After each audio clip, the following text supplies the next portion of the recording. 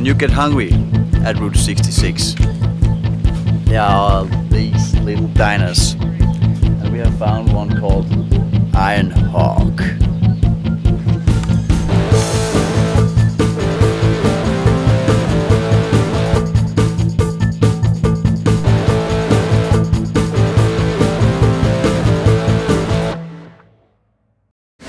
So we just met a guy called Rod, and you're gonna meet him in a moment.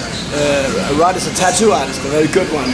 He actually designed some of the, of the tattoos in Pirates of the Caribbean, among many others. I've also worked on other movies like uh, The Training Day. I met Denzel Washington.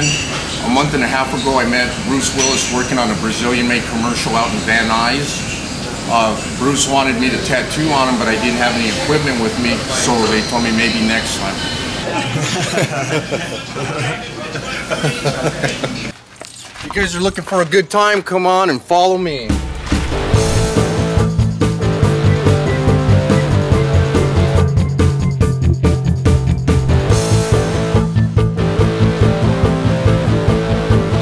What's up? Tattoo Scotty, Southern California. I've been working for Hollywood since 1988. They hired me on as a um, tattoo uh, consultant.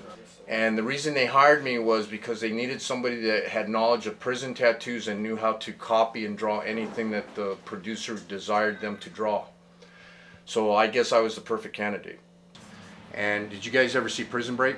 Yes, yes. My friend does those tattoos. Oh, oh. my God. Yeah, they're fake, you know, big old pieces of paper and they put them on and all that. Yeah. And his name is Rick Stratton. He's a very famous makeup artist in Hollywood. For one guy, I could do the workload of six guys. I could do an eight hour shift of six guys in four hours.